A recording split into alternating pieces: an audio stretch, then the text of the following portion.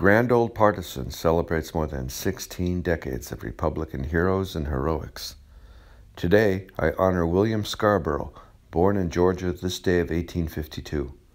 His father was a free black and his mother a slave. Though against the law, his neighbors taught him to read and write. He attended Atlanta University and Oberlin College.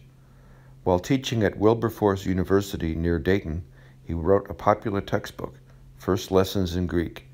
In 1908, trustees made him university president.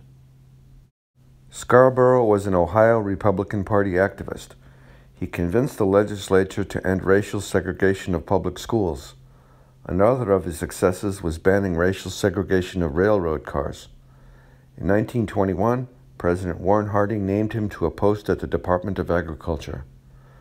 Back to basics for the Republican Party is my civil rights history of the GOP.